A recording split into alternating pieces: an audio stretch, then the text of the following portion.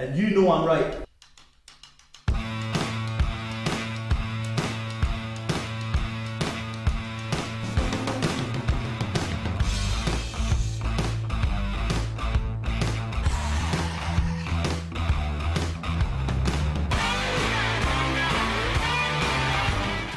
Carlsberg don't do politicians, but if they did, they'd be the best in the world.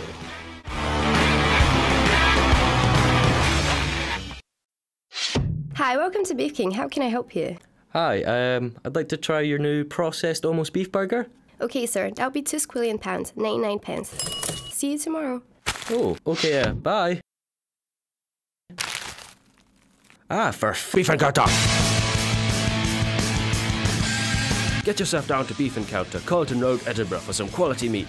Make your booking now. Just call 0131 452 8453.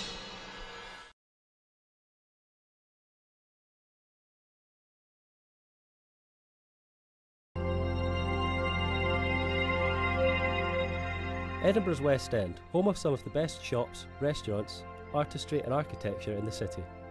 All that combined makes it very popular with tourists and locals alike. It is also home to West Princes Street Gardens. The centrepiece of the West Gardens is one of the city's proudest landmarks, which sits in the shadow of the parish church of St Cuthbert. The Ross Fountain.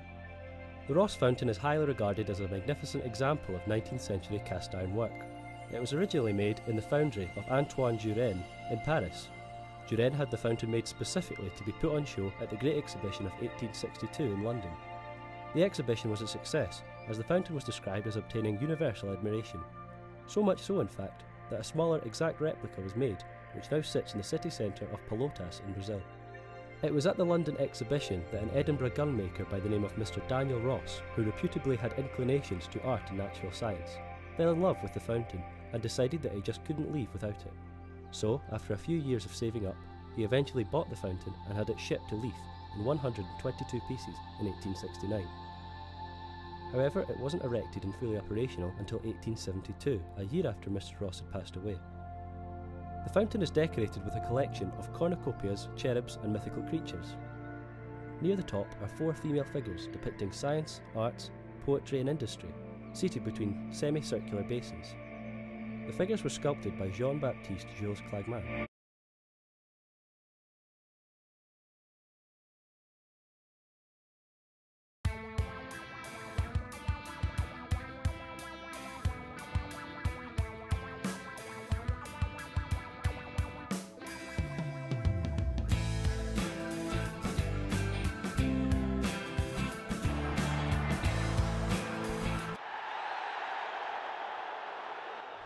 Are you serious?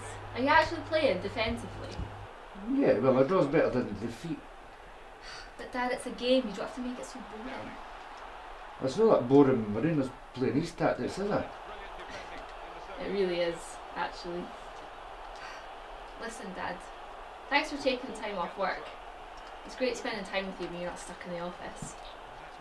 Great. I, kind of think a better way to spend my Friday evenings also.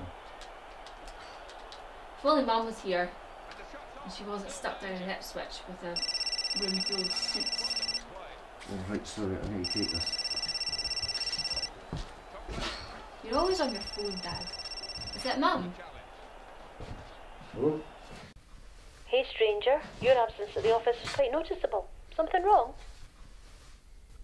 Oh, hi, Karen. No, I'm just feeling a bit ill today. That was all. How's things? How's things? I'm not one of your mates from down the pub. Speaking of which, I was talking to Michael today about, you know, us. And he seemed quite shocked. I don't think he knew about your wife's death and seemed to think you were still together. I just found it weird since I thought you and him were really good pals. Uh, me and Mike? Yeah, we don't really know each other very well. Really? Because he had your address. My address? Yeah, well, I thought it was weird. We've been going out for a few months and I still don't know what your house looks like. It's not like you've not seen mine. Karen, I didn't want you coming to my house. It's a mess. I told you that. Don't be ridiculous. I don't care about a little mess. Anyway, it's too late now. I'm already on your street. My street? What do you mean on my street?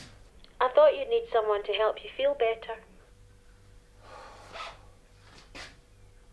Oh, look, Cam, I, I didn't want you coming here. Dad, who are you talking to? Is that Mum?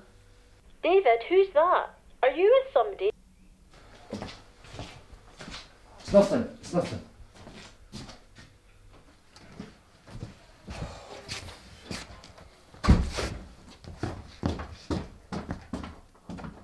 Who's this?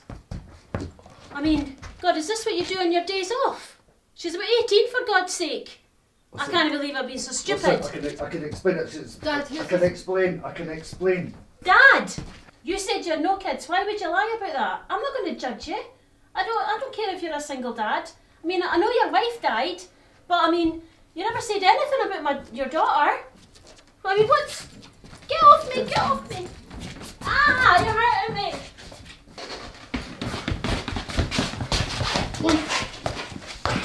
Listen, I can explain. I'm not being completely honest with you. I do have a daughter. So I didn't want to tell you. I didn't want to think you I was all washed up. I don't. I don't believe this is happening. This isn't happening. I hate my life right now. Absolutely hate it. I can't believe it now. You see. I love you. Karen, it's you I love. It's you I love. I need you to go. I can't explain it right now. I can't explain it now, but I, I will explain it. I will explain it, please. I will, I will explain it.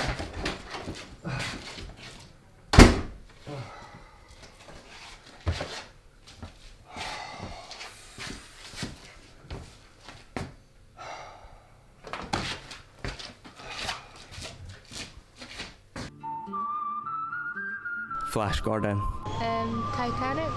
Right now, Grease. The Lion King. I love that. If you think they're talking about their favourite films, you can guess again. They're talking about their favourite music from films. Songs from films such as Jaws, Star Wars, and The Great Escape are etched into the minds of old and young fans alike. Celine Dion's track for the Titanic sold more than 15 million copies and is synonymous with the film.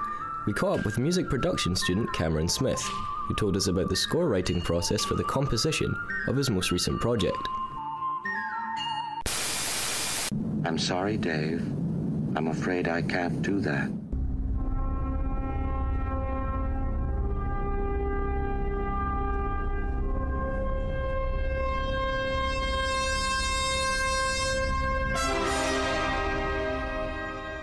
When it comes to the audio of the film, especially with the score writing, um, it was it was basically up to me to decide what would fit the visuals. Um, the director of the film and the sound editor, he kind of knew in his head what he wanted, and then it had to get my ideas into it as well and develop his ideas. So um, yeah, I, it's it's mostly up to me to like put it down into what would fit best for the film with the like resources I have. But um, it is uh, it is also up to the editor if he likes it or not too. I, I think music can be more important than the film sometimes because I think that music on its own with a film, you can listen to the music and the soundtracks on the film on its own, but when you take the audio away from a film, and you just look at the visuals, I don't think it works as well, to be honest. So I think I think music is more important, a lot more important. We all go a little mad sometimes. Haven't you? So obviously the mood is heavily reliant on the music in a film, whether that be a boost in tension or a sense of elation. Composer Bernard Herrmann did the score for the iconic shower scene in Psycho, against the wishes of Alfred Hitchcock, who wanted the scene to be silent. Skip forward 17 years, and the Bee Gees track littered the 70s classic film Saturday Night Fever, thus becoming the first example of cross media marketing. But how important is music to a director? And at what point in the development process is the music discussed? Here's young filmmaker Katrina Stewart to tell us more.